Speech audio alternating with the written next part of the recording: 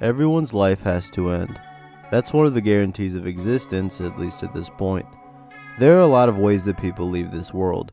Most are relatively peaceful, such as passing in their sleep. However, some aren't so lucky. Today, I'll be covering some of the darkest final images that I could find. This one gets heavy, so be cautious moving forward. Follow my social media and thank you for watching. Let's go. The Tasman Sea is a 2,000 kilometer body of water that stretches between Australia and New Zealand. Many people have crossed over this body of water to travel between the two countries. However, none have done it on kayak. I'm really worried I'm not going to see my wife again. My little boy. And I'm very scared. At that moment, I really honestly did not want him to go, and I just wanted to hold on to him. I'm wondering why I'm doing this. I really am. And I don't have an answer. Andrew was forced to abandon this attempt. But weeks later, he set off again. On January of 2007, Andrew McCauley decided to try his second attempt at crossing the Tasman Sea from Australia to New Zealand. Being someone that had already successfully performed other sea kayaking expeditions, he was no stranger to this type of travel and the risks that come with it. Over the next month, Andrew would travel across the Tasman Sea. This photo is one of many that Andrew took as he documented his journey across the sea. Due to the sunscreen, it may seem a bit eerie, but in reality, he was likely in pretty decent spirits. During this time, he faced many challenges from the intense weather conditions that the sea could create. At times, the kayak would even capsize and he would have to get out and push it upright to save himself. He was extremely resilient, to say the least. Despite these challenges, he was making good progress and was making his way towards New Zealand. As he got closer and closer to his destination of Milford Sound, New Zealand, it seemed like there would be no way that he would fail. Most wouldn't even have made it this far. However, we all know that something had to go wrong.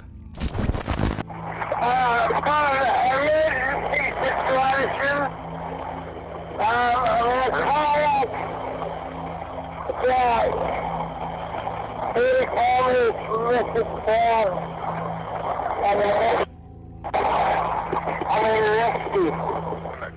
On February of 2007, Andrew would send a distress call as he quickly realized that he wouldn't make it to his destination that was only 56 kilometers or 34 miles away. A search was immediately began. However, after days of searching, only Andrew's partially flooded kayak would be recovered. Even now, his body has never been found, and it's unknown what truly happened to him. It's more than likely that he passed away, however, as if he did somehow swim to New Zealand, I would guess that they would have discovered him while he was trying to make it there. Even if he didn't touch the land, I think we can all say that Andrew actually did make it across the Tasman Sea in just a kayak. May he rest in peace. On December 26, 2004, this image was taken. In it, you can see what looks like a wave crossing over the land as it even reaches the height of one of the palm trees in front of it. That would already make this image morbid enough, but it gets worse. This isn't just any tsunami. It's actually one of the most devastating disasters in modern history. Off of the coast of Sumatra Island, a powerful 9.1 magnitude seaquake would erupt, causing a 900 mile, or 1,448 kilometer, fault line to form where the Indian and Australian tectonic plates meet. This also caused the ocean floor to instantly rise by as much as 40 meters or 131 feet. This sudden rise would of course trigger a massive tsunami.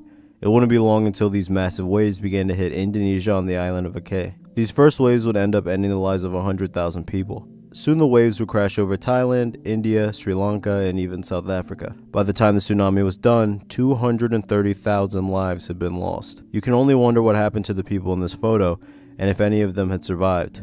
Based on the numbers, it's more than likely that only one or two of them did.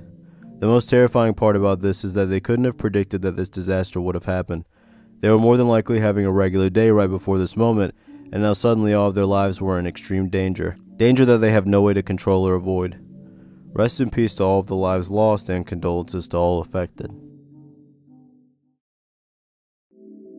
There are around 45,000 domestic flights in the United States every day. Despite that amount, you probably have noticed that you don't hear about many crashes or catastrophic accidents at all. In fact, in 2021, there were only 176 air traffic fatalities worldwide. It's not very common that you would actually pass away from an airplane accident, especially commercial. Of course, uncommon doesn't mean never. After the hard facts of disaster, the hard questions. The hard facts are these. A United Airlines DC 10 with 293 people aboard crashed yesterday while attempting an emergency landing at Sioux City, Iowa. Amazingly, at last count, 184 people survived. And now the hard question why did the plane crash? On a typical flight from Denver to Chicago, a McDonnell Douglas DC 1010 would make a shallow right turn, something that the plane had done thousands of times before. However, this time the result would be different. There was actually a microscopic issue in the titanium alloy fan disc that over the years had formed into a sizable crack. During the turn, the fan disc of the tail mounted engine would disintegrate, and this would subsequently cause the fan disc to rip out of the aircraft, taking parts of the number 2 hydraulic system and supply hoses in the process. In other words, it was almost impossible to control the plane now. That wouldn't stop Alfred Haynes, Bill Records, Dudley Dvorak, and Dennis Fitch from trying though. Although the typical method of using the control column was useless, after trial and error they were able to figure out that if they idled the left wing mounted engine and applied maximum power on the right, they could at least get the plane to level out. Eventually the plane would enter phugoid cycles, a phenomenon in which a plane will climb before descending over and over, changing the speeds as it does so. With every cycle, the plane would lose around 1500 feet or 460 meters of altitude. Dennis Fitch was able to use the throttles to mitigate the cycle. Eventually, they would arrive at the Sioux Gateway Airport and were preparing to land. As they were rapidly approaching the runway, they were at a speed of around 250 miles per hour or 410 kilometers an hour, which was much higher than the speed required for a safe landing. The aircraft began to roll to the right, and the engines were responding in time to Fitch's commands to stop the roll. After hitting the ground, flipping, and rolling over, Flight 232 would rest in a cornfield close by. In the end, 112 out of the 292 people on board would pass away. Despite the horrendous conditions, somehow the crew was able to save the majority of the people on board, which is amazing. Rest in peace to the 112 lives lost. They stand in the windows, these survivors, looking out over a countryside so peaceful that one could hardly imagine a disaster here. But it did happen, and these men and women and children will never forget it. Stand on her knees. You already know my capital, Capital Steez.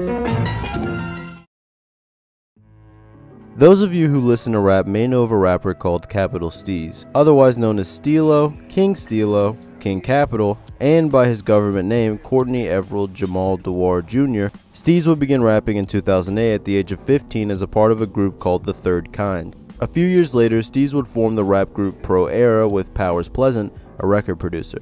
This group would include a lot of talented rappers, including Joey Badass, a close friend of Steez. This would also be the person that would make the song Survival Tactics with Steez, a song that currently has 25 million views on YouTube. Later that same year, he would release American Corruption, an extremely highly acclaimed album that would cause even more eyes to fall on him. As the year continued, Steez continued to succeed, and everything was looking up for his career and future as a phenomenal artist. However, on December 23, 2012, Steez would release this tweet which simply said, The End. Right after releasing this tweet, Steez would jump off of the top of the Cinematic Music Group headquarters and would not survive. This final tweet is an extremely unnerving sentiment of someone that knew their time was coming.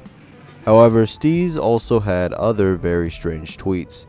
Steez had gotten into spiritual and metaphysical theories during high school and would end up believing in other spiritual practices and aspects like Egyptian mysticism, numerology, astral projection, and the Indian chakra system. As you can see by the tweets, he also believed he was a being that existed on a higher dimensional plane and held the belief that he was an indigo child. This meaning that he was someone who has supernatural abilities and can possess these traits or qualities.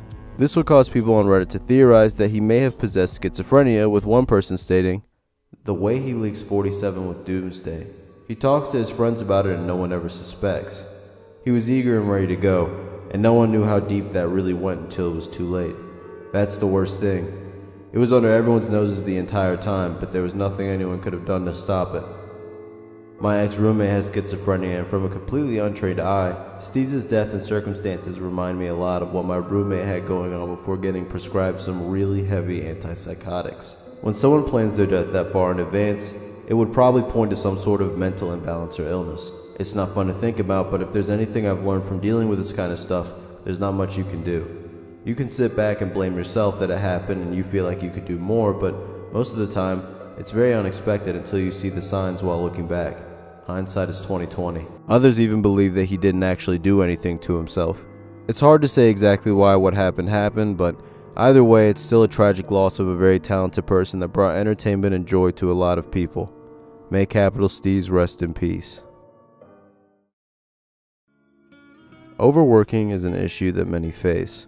Sometimes this is for school, but other times this is for an occupation.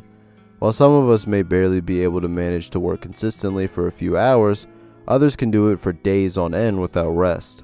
However, humans need to sleep. A lack of sleep causes many health issues, but mainly in this case I'm talking about exhaustion. Things like coffee and energy drinks can combat this, however. When done in moderation, these drinks usually don't cause any serious issues, but when you overdo it, it can cause irreversible consequences. Mita Diran, an Indonesian copywriter, would tweet this on December 14, 2013. It wouldn't be long, however, until the effects of overworking and intense energy drink consumption would take their toll on her. In other tweets on her page, you can see how much she was forced to work for her company, commenting at times that she was working over 12 hours at the office. Her company would later come out and tweet their condolences, which of course received a lot of negative attention. It's sad that anyone is forced to work so much that they end up losing their life, although that much is obvious. It's even more morbid, however, that there likely wasn't much of a choice whether she would end up this way or not. Rest in peace to her, and the same goes to everyone else mentioned in this video.